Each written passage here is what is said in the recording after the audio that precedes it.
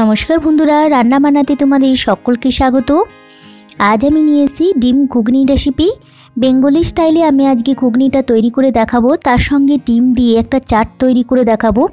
দুর্দান্ত লাগে এই খেতে, এর টেস্টটা কিন্তু খুবই ভালো। তোমরা বাড়িতে একবার ট্রাই করে দেখো।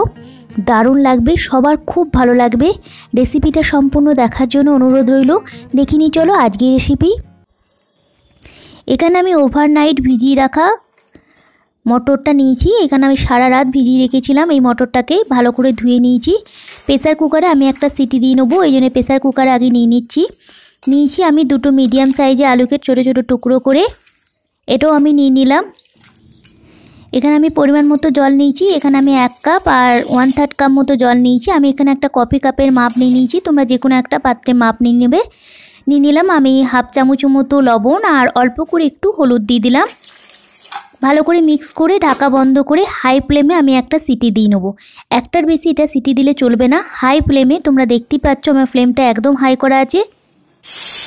একটা সিটি আমার পড়ে গেছে, এবার আমি গ্যাসটা অফ করে সম্পূর্ণ স্টিমটা বসতে দেবো।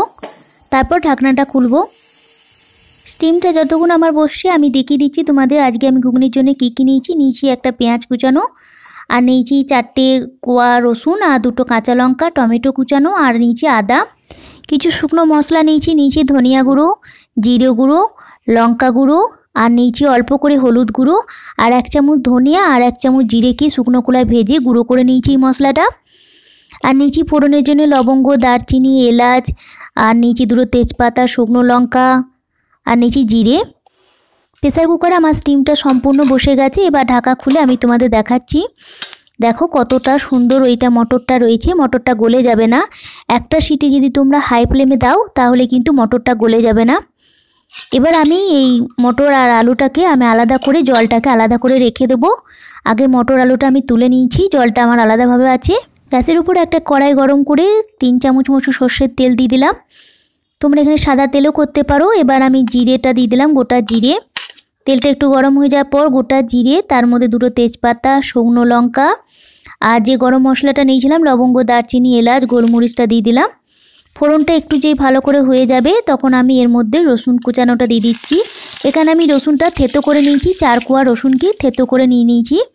নিয়েছি পেঁয়াজ কুচানো, একটা মিডিয়াম সাইজের পেঁয়াজকে আমি কুচিয়ে নিয়েছি।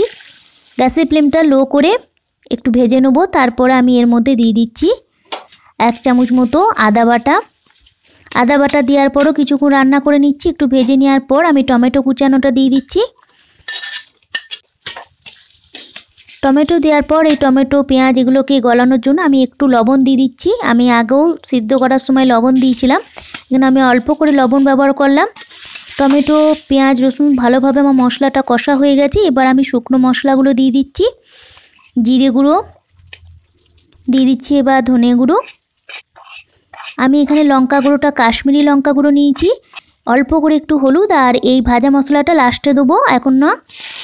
এবার আমি এই শুকনো মশলা সমেত আগের মশলাটা একবার ভালো করে কষে নিচ্ছি। গ্যাসের ফ্লেমটা এই সময় লো করা আছে। ভালো করে মশলাটা কষে নেওয়ার পর আলু আর মটর সিদ্ধটা আমি দিয়ে দিলাম। আলু মটর সিদ্ধটা ভালো করে একটু রান্না করে নেব। এবার দুটো কাঁচা লঙ্কা দিয়ে দিচ্ছি। তোমরা টেস্ট অনুযায়ী লঙ্কাটা দেবে।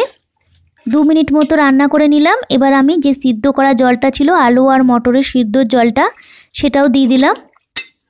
এটা দেওয়ার পর আমি এর মধ্যে স্বাদ মতো এবার লবণ দিয়ে দিচ্ছি, কারণ আমি আগে দুবার লবণ ব্যবহার করেছি।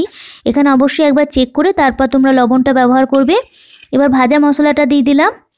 ভাজা মশলা দেওয়ার পর ভালো করে একবার মিক্স করে ঢাকা বন্ধ করে লো ফ্লেমে পাঁচ মিনিট মতো রান্না করে নেব। পাঁচ মিনিট পর আমি ফিরে এসেছি। আমি এবার এর মধ্যে অল্প করে স্বাদ মতো একটু চিনি দিয়ে দিচ্ছি।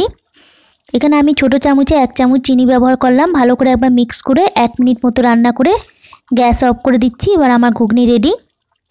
এরপর আমি একটা তেঁতুলগুলা জল তৈরি করে নেব। তার জন্য একটু তেঁতুলটাকে ভিজিয়ে জল দিয়ে ছেঁকে নিয়েছি। তেঁতুলের জলটা নেওয়ার পর আমি এখানে স্বাদ মতো একটু লবণ আর দু চামচ মতো পাউডার চিনি নিয়ে নিলাম। চিনিটা গলতে সুবিধা বলে আমি এখানে গুঁড়ো করা চিনিটা ব্যবহার করেছি। আর নিয়েছি একটু বিট লবণ। নিয়ে নিচ্ছি ভাজা মশলা, যে জিরে আর ধনে ভাজা মশলাটা ছিল সেইটা, আর অল্প করে একটু কাঁচা লঙ্কা কুচানো দিয়ে দিলাম। খুব ভালো করে মিক্স করে নিতে হবে।